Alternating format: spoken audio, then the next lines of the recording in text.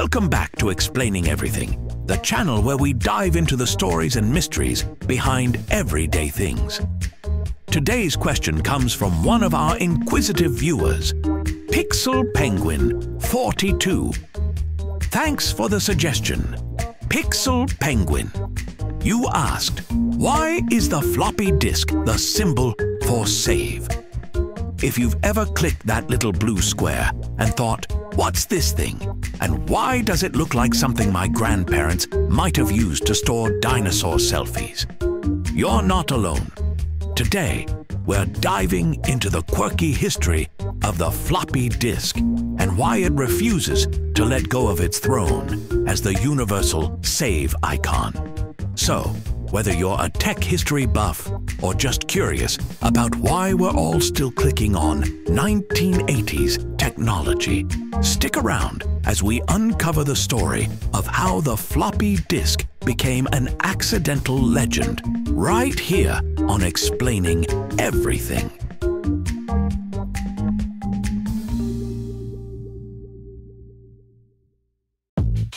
First, for anyone who's never seen a floppy disk, hello Gen Z, imagine a giant save icon you can hold in your hand. It's a thin, square piece of plastic that stored data, usually measured in kilobytes or megabytes. For context, one floppy disk could barely hold a single low-quality selfie today. But back in the 80s and 90s, it was groundbreaking tech, like this was the Tesla of file storage. There were two main types of floppy disks, the giant, wobbly 8-inch one, basically a frisbee, and the smaller, sturdier 3.5-inch disk, which became the design for the save icon we know and love. These little guys were the go-to for storing homework, saving games, or transferring files before the era of email, cloud storage, and USB drives. Back then, you'd pop one into your computer and hope it didn't scream at you with disk not readable. Okay, so how did this clunky plastic thing become shorthand for save? Flashback to the late 1980s and early 90s. Software developers needed a way to visually represent the action of saving a file. Words like save file in Comic Sans just weren't cutting it. They needed something simple, universal, and, this is important, small enough to fit on a pixelated computer screen. Enter the floppy disk. At the time, it was the tool for saving files. Everyone recognized it.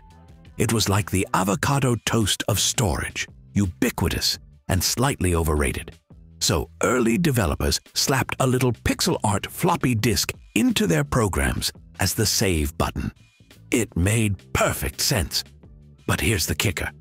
As technology evolved, floppy disks didn't just become obsolete, they became ancient history.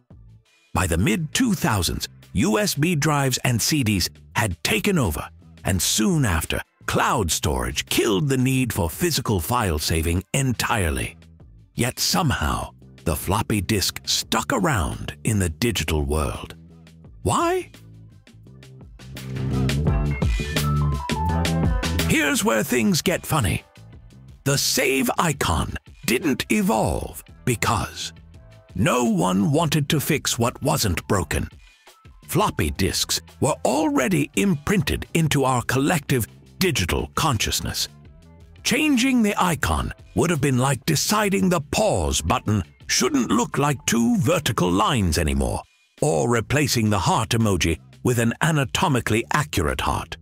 Sure, it might make sense, but people would riot. Plus, let's be real. What would replace it? A USB stick? That's not exactly intuitive. A cloud? It's cute, but it doesn't scream save. Maybe a hard drive? Good luck explaining that to someone who's never cracked open a computer. The floppy disk was just iconic. Literally. And then there's laziness tech companies probably thought, why spend time and money re-educating the world on a new icon when everyone already understands this one? So, the floppy disk stayed. A relic of the past, stubbornly holding its ground in a world that had completely moved on. Now, here's the hilarious part. Today's younger generations recognize the save icon, but most of them have never seen a floppy disk in real life. It's like using a horse and buggy symbol to mean travel or a quill pen for texting. Kids are clicking a save button that represents technology so old it might as well be hieroglyphics. In fact, there are stories of kids asking, why is the save button a vending machine? Or what's that weird blue square? To them, it's just a symbol. It's lost all connection to its real-world origins. It's pure digital abstraction, like how the phone icon is still a handset even though no one's used a rotary phone since the 90s. But maybe that's part of the charm.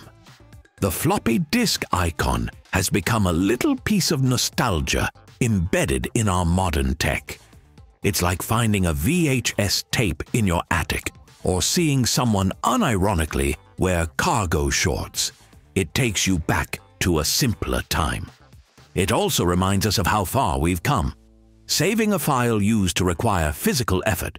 You'd pop in a floppy, wait for it to whir, and hope your PC didn't crash mid-save.